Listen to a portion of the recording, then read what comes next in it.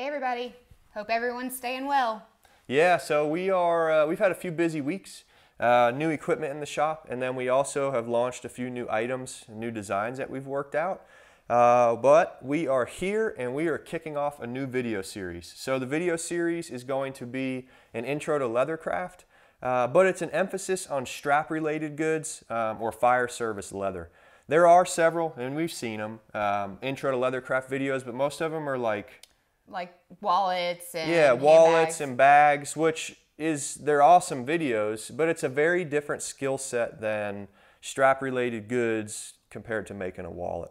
So that's what we're going to do. We're going to kick the series off. It's going to be in a very simple manner. Each video is going to cover basic skills with the title corresponding to what we cover. But within that video, we know that we also have a crowd of professional or semi-professional leather crafters um, that have some equipment or similar machines that we have. So not only are we going to show the way that it can be completely done by hand, but we also want to cover the way it could be done with um, tools, machinery, or bigger equipment. Uh, because this is not just for the weekend crafter. This could also be for the you know professional crafter. crafter that's doing leather goods. So with that, First video is going to be on basic tools and this video is going to be really awesome for two reasons. It's a basic tool video and we love basic hand tools when it comes to leathercraft. And secondly, Weaver Leathercraft hooked us up with a sweet box. We haven't opened it yet, but we know what's in it of basic leather tools. Um, we're going to do an unboxing and then a giveaway of what's in the box. Super simple to enter. So what was it to enter? They're going to uh, subscribe subscribe to, to the channel. YouTube channel and then leave a comment below on a, a video you yep. want to see. Yep. So any video you'd like to see us cover. We obviously have a huge list um, of videos that we'd like to do because there's so many facets, uh, but we'd also love to hear your interest.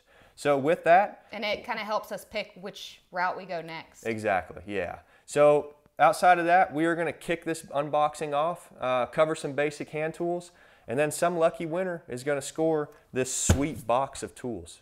So we hope you enjoy. If you have any questions, make sure you leave them below. Give us an old thumbs up and enjoy the video. Peace! Basic hand tools. So this video uh, is going to cover basic hand tools, but really you're all probably pretty excited about participating in this giveaway. So Weaver donated this box to the giveaway and it is packed full of basic tools. Uh, somebody's going to really score with this. There's some really nice tools in there. There's some entry level tools in there, uh, but there is something for everybody, and it's pretty awesome. So real simple to enter. Courtney and I already mentioned it earlier. Just subscribe to our page and leave a comment below on a video you'd like to see. Uh, every subscription to our channel helps us grow, which allows us to keep producing and doing videos and new ideas and creating things that we enjoy. All right, let's jump into this thing. So, uh, as I take the tools out, uh, I'm going to give you a brief rundown of what it does, not necessarily how to use it. Some of them are definitely self-explanatory, um, whereas some of them are going to require a video in themselves. So, incredible amount of goods in this box. Uh, thanks again to Weaver. Um, very kind gesture to, to do for this giveaway. Uh, great tools in here. This is definitely more than what you would need to just get started. So starting off here, we have a stitch groover. So this could be used to mark the edge of a leather good or, or a certain distance off of the edge of a leather good for stitching. Um, it can either crease or actual make a groove. There's an actual cutting bit that you could place in it. Uh, you don't even have to sew it. You can also just use it as an edge detail.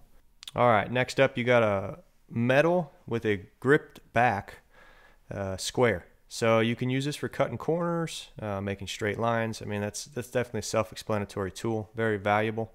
Uh, this is a wood slicker. So this is how you're going to burnish your veg tanned leathers uh, to get your edges looking how you'd like them. And we have this massive awl. Um, it's a big awl. I guess I could see some use for it. It definitely wouldn't be used for anything other than just tracing out patterns. Here's the size that I use.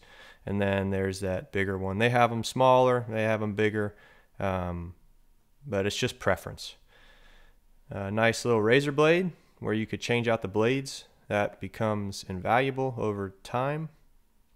You don't have to worry about sharpening a fixed blade when you're new. Uh, here's an edge beveler, and these are some of my favorite bevelers that we have.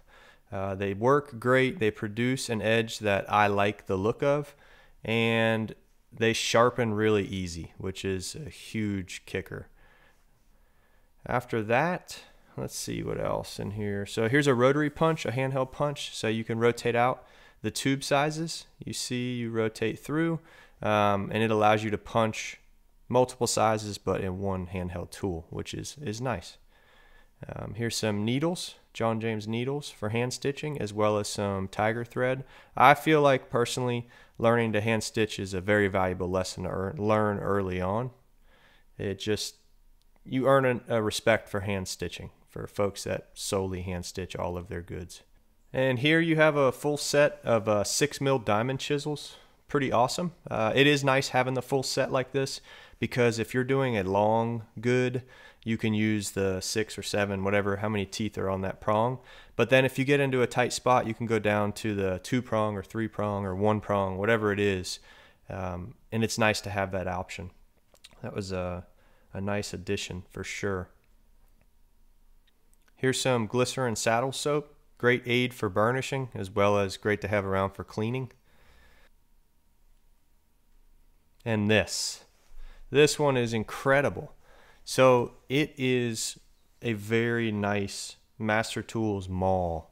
So it's uh, stacked leather handle, poly head, and then all brass fittings. Not only is it a great maul to have, uh, it also is aesthetically a very nice looking tool.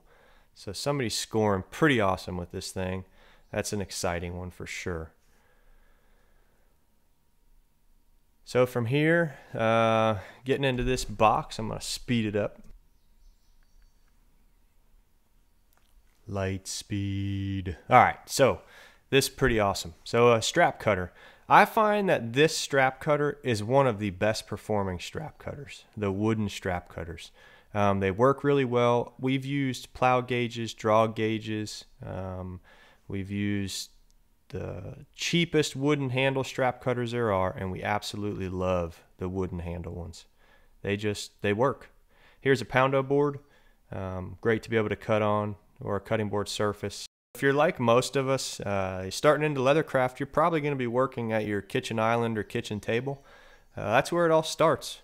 But uh, if you're interested in starting into leathercraft, this is a great toolbox to get. Um, whether you get this one specifically or you visit Weaver's site and pick up some basic tools.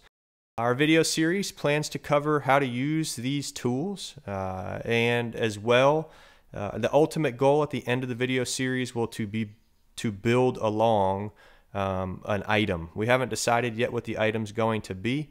We'll probably do a poll on Facebook or Instagram for that and then make a decision.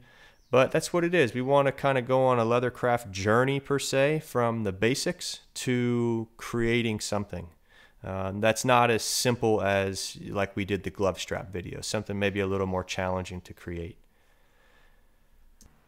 All of the rules to participate will be down in the description. Hope you all have a great week and good luck to everyone who participates.